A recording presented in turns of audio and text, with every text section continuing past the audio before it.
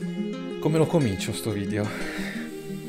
Sono esattamente tre giorni che tento di registrarlo, ma eh, arrivo a metà e mi interrompo perché non, non, è proprio così facile. È un momento sinceramente che pensavo, ma soprattutto speravo non arrivasse mai, ma che eh, indubbiamente è arrivato. Avviso, sarà un video lungo, molto probabilmente per molti noioso, ma è un momento secondo me eh, importante del canale, è un momento im- importante anche per me ed è giusto secondo me condividerlo con voi anche per avere una chiusura del cerchio. Cominciamo!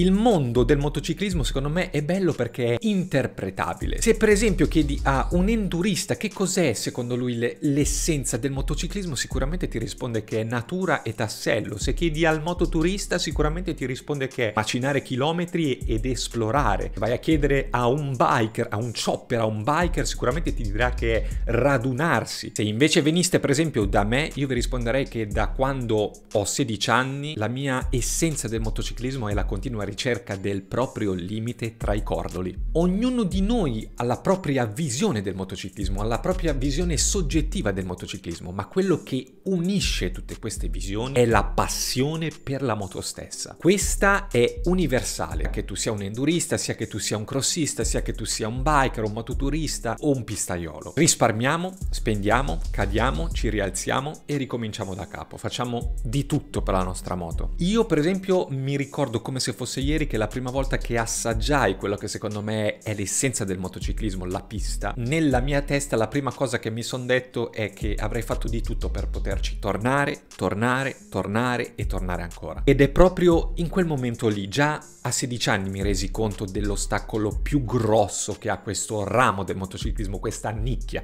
del motociclismo, i costi. Il tempo passava e io cominciavo già a risparmiare, a mettere via la paghetta, a mettere via i soldi, cominciavo a risparmiare per potermi permettere quel sogno. Quando i miei amici erano a far serata il sabato sera, io ero a casa a risparmiare. Quando si organizzavano le vacanze invernali o estive, io trovavo qualsiasi scusa plausibile per restare a casa, andare con i miei e mettermi via i soldi. Quando usciva il nuovo gioco della PlayStation, io magari avevo quello dell'anno prima. Quando usciva la PlayStation 4, io avevo ancora la 2. Già a 16-17 anni, quello che mi frullava in testa era mettere via quanti più soldi possibile per potermi permettere poi il mio sogno. Con il passare del tempo finisco la scuola, risparmio, risparmio, risparmio, faccio i miei primi anni di lavoro, metto via quanti più soldi possibili per poter fare il mio esordio nel mondo delle moto da grandi.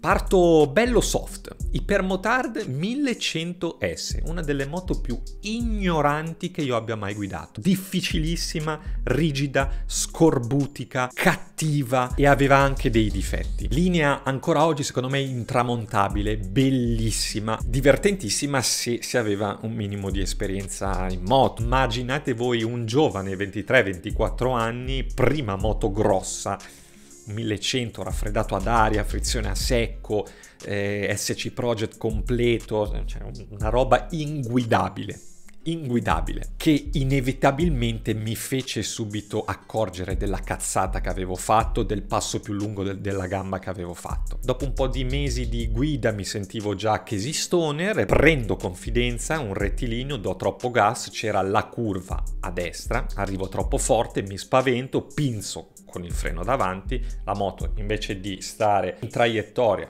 per fortuna solo la moto va a sbattere contro il guardrail e non ci vado io. Risultato, forcella piegata, cerchio piegato, telaio piegato, eh, carene dilaniate, insomma mi aveva fatto capire la moto stessa nel giro di pochi mesi che avevo fatto il passo più lungo della gamba. La sistemo e la vendo un po' convinto da un amico che già la possedeva, un po' spaventato dalla scelta dell'ipermotard fatta, deciso di andare su una moto completamente diversa. BMW F800 GS. Vado su una moto che mi permette di guidarla appunto 365 giorni all'anno per qualunque tipo di utilizzo. E infatti proprio con quella moto lì credo di aver battuto il mio record personale di chilometri fatti. Se non ricordo male in un anno e mezzo avevo fatto 12 o 13 mila chilometri, la usavo veramente per tutto nebbia, pioggia, freddo, neve, la usavo sempre. Gite domenicali, gite in coppia, fuori strada, strade bianche, con quella moto lì ci ho fatto anche l'eroica ed è stata un'esperienza veramente fighissima che ancora oggi mi ricordo. Era una moto completamente diversa da quello che era il mio standard in testa di moto, che però col senno del poi è stata molto probabilmente l'acquisto più azzeccato che io abbia mai fatto da quando ho 16 anni. Però nella mia testa sentivo che non era il genere di moto che sognavo, non era la disciplina, non era il ramo di motociclismo che io sognavo fin da bambino, sognavo fin da quando avevo 16 anni. Era la moto giusta, ma probabilmente nel periodo sbagliato. Nella mia testa c'era il continuo richiamo della sportività, il continuo richiamo del ginocchio a terra, il continuo richiamo dei cordoli.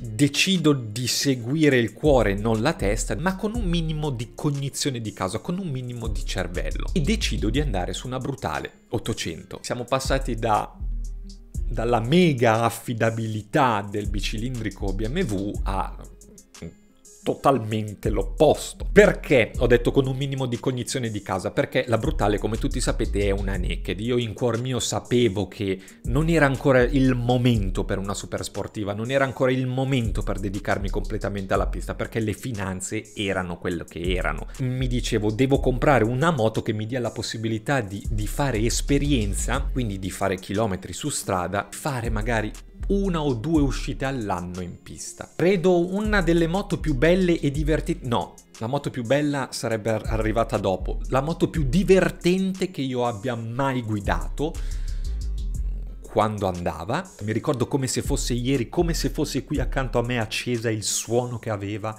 con questo silmoto completo in titanio blu, rigorosamente senza DB killer. Era una roba che quando passavo veramente mi, mi facevo schifo da solo, avevo vergogna dal casino che facevo. Carbonio ovunque più rigida di una MotoGP, davvero davvero bella. Ed è proprio con quella moto lì che inizia un po' il tunnel della droga, no? Decido di tornare a Castelletto. Io ci ero andato la primissima volta quando avevo 16 anni con, con la mia Husqvarna 125. Decido dopo 8-9 anni da quel giorno di tornare a Castelletto, tornare in pista, tornare nell'ambiente in cui a 16 anni mi fece completamente innamorare di quel ramo del motociclismo. Me lo ricordo come se fosse ieri. La mattina vado al lavoro con la tuta vado al lavoro, mi cambio, faccio la mia giornata di lavoro, finisce la mia giornata di lavoro, mi rimetto la tuta, vado diretto al serale di Castelletto. 30 euro, 3 ore di serale a Castelletto, peso come una corda di violino, emozionatissimo perché era effettivamente il mio primo rientro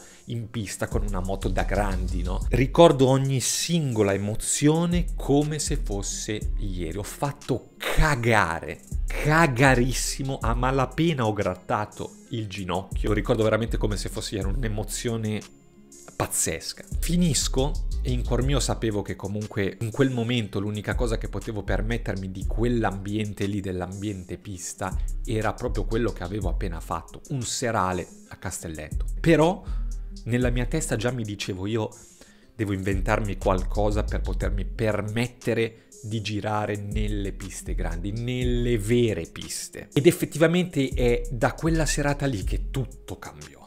Nella mia testa già sapevo che quella moto lì andava venduta, nella mia testa sapevo già che il mio unico scopo da quando avevo 16 anni, che avevo provato l'emozione della pista era una moto super sportiva, era la moto che io vedevo nelle gare di MotoGP, nelle gare del mio idolo Valentino Rossi, era quel genere di moto lì. Metto in vendita l'MV, un calvario per venderla, lasciamo perdere. Compro quella che secondo me è stata la moto più bella che io abbia mai avuto e molti di voi si chiederanno e mi hanno chiesto in passato, Ste, ma perché 899 e non 1199? Banalmente perché l'errore di fare il passo più lungo lungo della gamma l'avevo già fatto con l'ipermotard. Non mi sembrava il caso di rifarlo nuovamente, soprattutto con un genere di moto che non avevo mai guidato. Io entravo nel mondo super sportivo, quindi dovevo affacciarmi anche in un genere di moto con una posizione di guida che io non, non, non avevo mai affrontato, non avevo mai guidato. E poi, sono sincero, il budget era già stato ampiamente superato con la 899, figuratevi,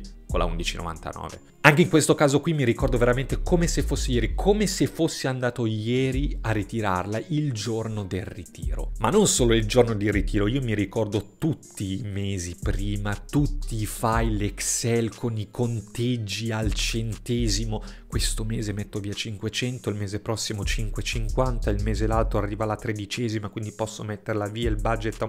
Veramente lo ricordo, ho risparmiato fino all'ultimo bicchiere di acqua Arriva il giorno del ritiro, tremavo talmente tanto che alla prima partenza da sotto casa dell'ex proprietario, l'ho fatta spegnere due volte, esco dal cancello dell'ex proprietario, giro l'angolo, il primo parcheggio che vedo libero, mi fermo, la spengo e resto dieci minuti lì fermo a guardarla così perché ancora non ci credevo che ero riuscito a coronare il sogno, no? il sogno di una moto sportiva, ma non una moto sportiva qualsiasi, una delle moto sportive che io sognavo da anni, no? era il mio sogno ed ero riuscito a coronarlo. Faccio chilometri su strada, dopo due o tre giri mi rompo subito il cazzo perché mi rendo conto che una moto del genere usata da milanesi imbruttito è assolutamente inutile quanto il traction control sul T-Max. Gli abitanti di Milano per poterci fare quattro curve in serie dobbiamo metterci sull'autostrada, fare 150 km, arrivare sul passo e sperare di non trovare macchine davanti nelle quattro curve che andremo ad affrontare perché se no fai 150 km km ti trovi anche le quattro macchine davanti nelle curve che devi fare e ti sei giocato il giro. Hai speso 30 euro di benzina, hai investito mezza giornata del tuo tempo e non ti sei neanche divertito. Proprio per questo motivo qui decido di tornare a Castelletto con il genere di moto che avevo in testa da anni, con il genere di moto dei miei, con la moto dei miei sogni. Anche in questo caso qua mi ricordo come se fosse ieri, era un sabato, anche in questo caso intutato, stivali, guanti, paraschiena, casco, tutto, parto da casa direttamente in moto, arrivo a Castelletto, accompagnato sempre dalla povera Vale che mi dava sostegno morale. Mi ricordo come se fosse ieri le emozioni del primo ginocchio a terra con la moto super sportiva. Mi ricordo come se fosse ieri quando la Vale facendomi le foto mi ha fatto vedere le foto e mi sembravo Casey Stoner nel 2007 con la Desmo 16 mi, mi, mi, sentivo veramente un figo anche solo a grattare il ginocchio. Mi ero divertito veramente tanto anche in quel caso là con, con, con gomme stradali le pressioni nemmeno sapevo cosa fossero. In quel momento lì mi decisi che forse era il caso veramente di cominciare il progetto che avevo in mente da mesi e mesi, che non ho mai messo in atto per problemi personali, che vabbè non stiamo qui a raccontare, decisi di aprire il canale il canale ST89 con lo scopo di A condividere le mie esperienze con questa nuova moto. Io ero felice di condividere la mia felicità nell'aver acquistato la moto dei miei sogni e raccontare il mio approccio con questo genere di moto qui. I primi video erano di prova su strada mentre mi iscrivo su Facebook in un gruppo di Panigale, Ducati Panigale Italia e comincio a conoscere gente che realmente viveva la pista, realmente comprava la moto e la utilizzava solo in pista e gente già con, con esperienza in pista. In silenzio cominciavo a, ad apprendere, a parlare, a, a cercare di capire come funzionasse questo mondo delle piste grandi, comincio piano piano a conoscere persone. La prima persona di questo gruppo che, che, conosco, un certo Corrado, mi manda un messaggio e mi dice Oh Ste, settimana prossima io vado a Cremona, vuoi unirti? Non ho saputo dire di no. Ma nella mia testa, nel mio cuore mi dicevo ma, ma dove cazzo vado? Non sono in grado in una pista così grande. Magari c'è, c'è, c'è gente molto più veloce, mi passano sulla schiena, non sono ancora in grado. Però un primo passo prima o poi bisognava farlo. Non avevo niente, ragazzi, non avevo niente, carrello, manometro, gomme in mescola, eh, gazebo, sedia, non avevo neanche la tanica della benzina. Quindi ci siamo fermati al benzinaio, io ho fatto il pieno raso alla moto e sono entrato in pista con, con la moto col pieno raso mi compro il necessario che in quel momento era un sottotuta e una sedia. Rado mi viene a prendere dalla Svizzera, scende, mi viene a prendere e andiamo a Cremona, non ci eravamo mai conosciuti, mai parlati faccia a faccia, solo virtualmente. Di quella giornata lì ho fatto il mio primo video in pista del canale St89 ed è, ed è secondo me in, in, quel video lì che si, ha, che si è anche creato il personaggio St89. Questa non la zecco mai, mai! No, le spalle! Cristo santo! Che brutta roba, essere delle seghe. Ve lo linko qua sopra a destra perché secondo me è, è veramente l'inizio del progetto che io avevo in mente da mesi, e cioè far capire alle persone che non hanno mai provato la pista cosa prova un amatore nelle sue giornate in pista. E fu una giornata veramente che io ricordo come se fosse ieri, ricordo quanto io abbia fatto cagare in quella giornata lì. Prima volta a Cremona su, su circuito vecchio ancora avevo fatto non, non, ricordo se 46 o 48 veramente cioè una roba ma solo per il fatto di essere lì in quel momento con quella moto in quella pista io mi, mi sentivo arrivato per me andava già bene così il problema è che fu l'inizio della fine, cioè fu l'inizio de- della dipendenza, fu l'inizio de- del tunnel della droga. Infatti da quel momento lì io tornai a casa, la targa non la rimontai più.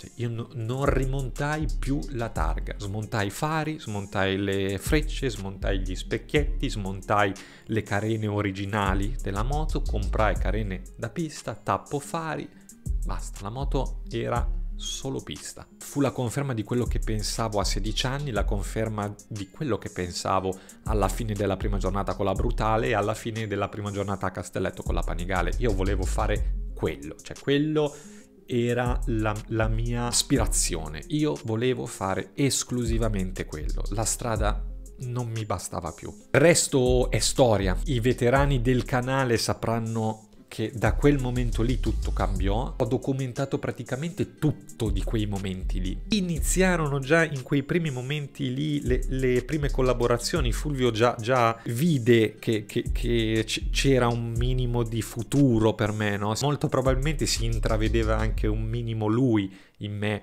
e cominciò un po' a, a buttarmi dentro questo mondo qui, no? Mi disse una frase che io ricordo ancora come se fosse ieri e che effettivamente è tornata indietro, non voglio spaventarti, ma se vuoi lavorare in questo mondo qua, ti accorgerai che questo è un mondo di merda. In quel momento lì ero talmente contento, ero talmente euforico che quello che mi bastava a me erano i, i 20 minuti di turno dentro una pista da grandi con la mia moto dei sogni. A me bastava questo tempo passa, pian piano miglioro, le pistate aumentano, le conoscenze aumentano, i numeri del canale piano piano aumentano e mi prendo le, le, le mie primissime soddisfazioni. Arrivo a un buon punto, con dei numeri buoni che garantisco che nel momento storico in cui siamo ora, per una nicchia del motociclismo come la pista, per una nicchia ancora più piccola del motociclismo in pista che è quello degli amatori,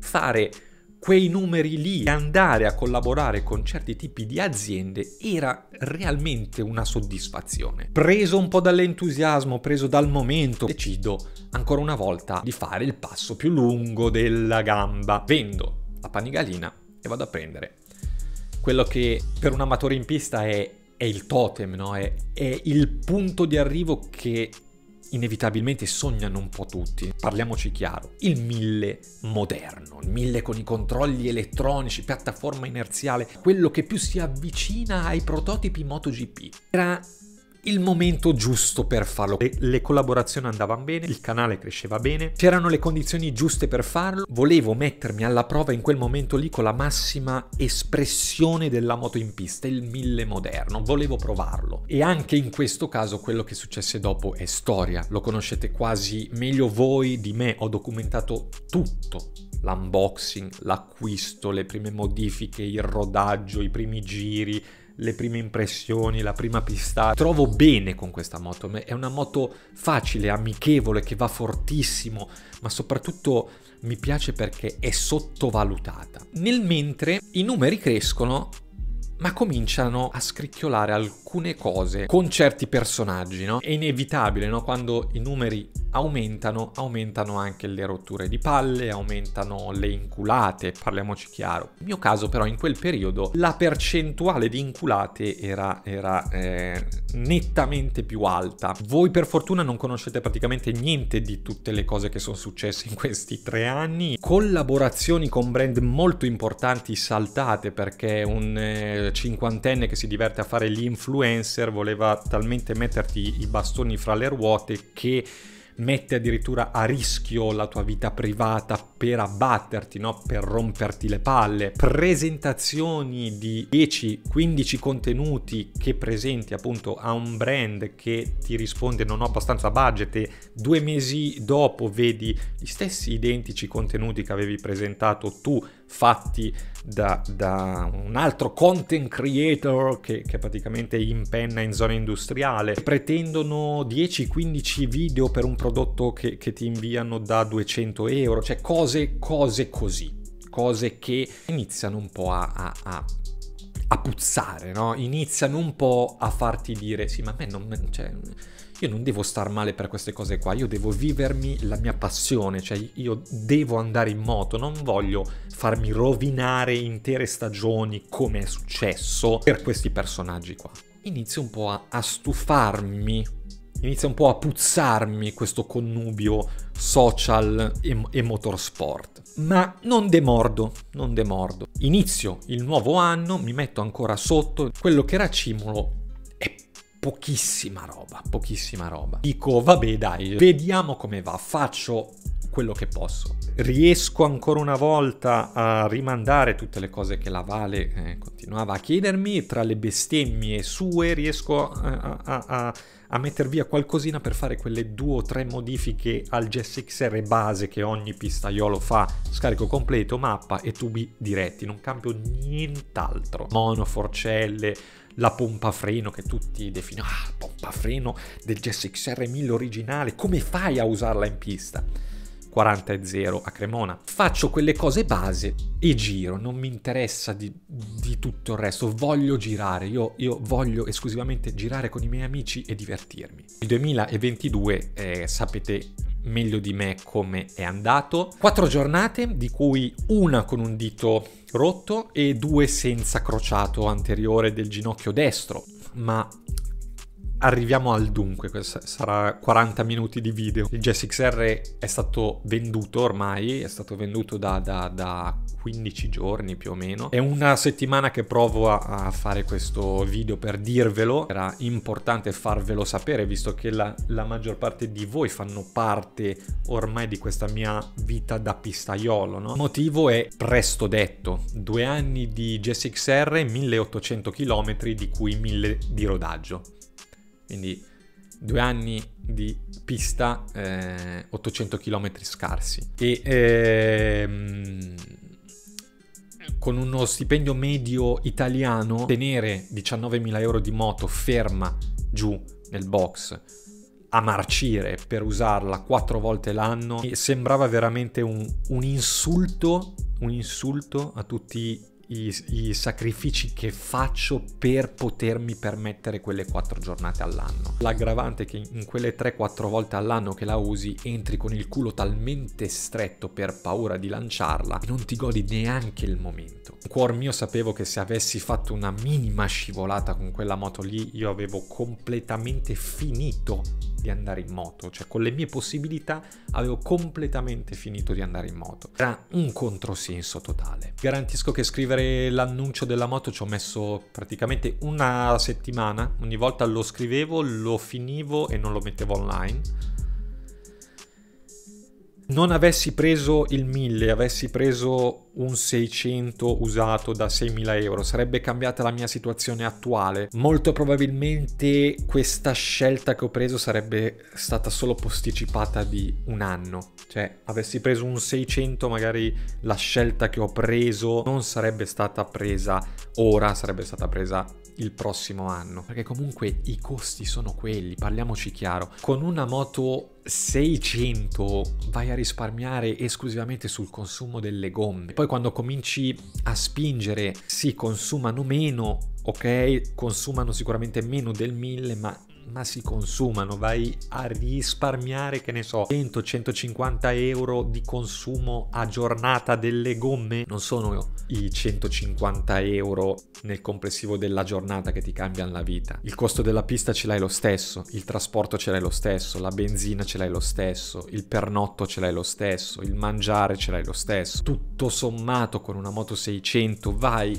a risparmiare es- esclusivamente di gomme. Quello che realmente è il pro è che non hai 19.000 euro di moto ferma nel box, ma hai 5, 6, 7 mila euro fermi nel box. Ma anche in questo caso ha senso avere 6, 7 mila euro fermi nel box per usarla 3-4 volte l'anno?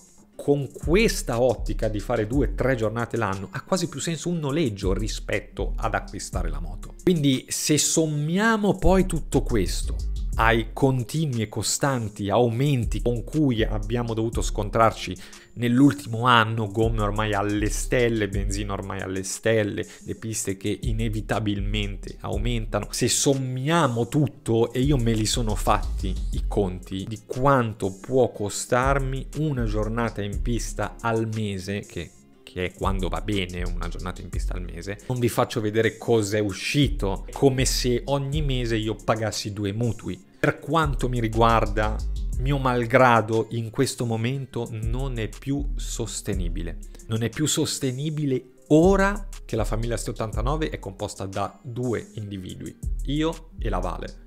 Immaginate voi nell'eventualità la famiglia S89 dovesse allargarsi se faccio fatica ora, se non posso più permettermelo ora, figuriamoci quando la famiglia sarà allargata. Il motivo di questa scelta è tutto quello che ho appena detto, ma è anche altro. Il canale doveva essere un modo per aiutarmi a sostenere le, le spese di questa stramaledetta passione, no?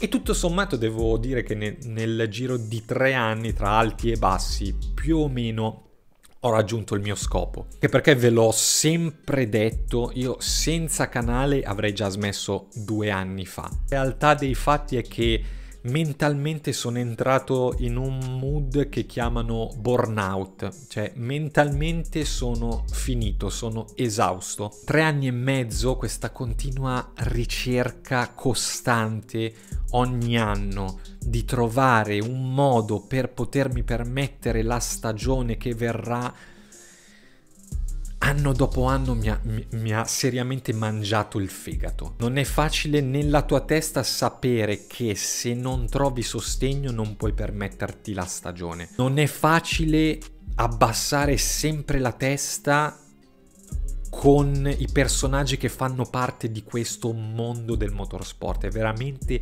un mondo ve lo dico sinceramente, pieno di ignoranti. Il fatto è che andarsi a scontrare con dei muri di ignoranza in questo mondo qua, veramente anno dopo anno, mi ha sempre più piano piano mangiato dentro. I fatti che ho citato prima, che sono accaduti, che hanno anche toccato la mia vita privata, tutte queste cose sommate mi hanno un po' fatto schifare il mondo che ho sempre sognato, che negli anni ho sempre sognato e ho sempre desiderato. Il mondo che ho sempre fatto di tutto per poterci entrare. Mondo che, che, che, non mi faceva dormire di notte per trovare una soluzione per potermi permettere un Mugello, per potermi permettere un Misano, per potermi permettere un treno di gomme in più, per potermi permettere una giornata a Cremona. Piuttosto vendevo il culo, ma per, per quei 20 minuti di turno avrei fatto di tutto. E molto probabilmente non,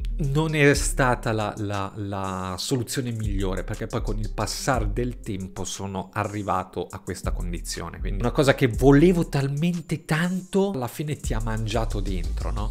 quando arrivi a un punto dove non riesci più a goderti quello che ami fare è il momento in cui devi dire alt cosa stai facendo e perché lo stai facendo arrivi a un punto dove la, la razionalità ti fa dire "Ah, mando a fanculo tutti, non, non voglio più rotture di coglioni da nessuno, mi pago ogni minima cosa io, pago l'ingresso in pista, pago le gomme, pago leve freno, pago le pedane, pago i tagliandi, pago tutto, ma vado in pista e penso solo a girare in pista, penso solo a divertirmi con i miei amici, penso solo al mio obiettivo. Io sono arrivato effettivamente a questo punto già dall'anno scorso, ma ho fatto finta di non farmi la domanda farò ora, e cioè posso permettermi di fare tutto questo senza avere rotture di coglioni da parte di nessuno? Per come la vorrei fare io, per come ce l'ho in testa io, la risposta è no. Inevitabilmente a 33 anni le mie priorità stanno cambiando, le priorità non sono quelle che avevo a 25, a, a 28 anni. Sono contento della scelta a cui sono arrivato? No. Me ne pentirò? Molto probabilmente sì. Ma in cuor mio posso dire di aver fatto veramente di tutto, anche di essere stato male mentalmente per potermi permettere questa passione qua. Ho fatto di tutto veramente di tutto. Ma evidentemente se sto facendo questo video, se sono arrivato a questo punto, non è bastato, perché gli errori no, non possono essere esclusivamente del mondo del motorsport. C'è stata una mancanza anche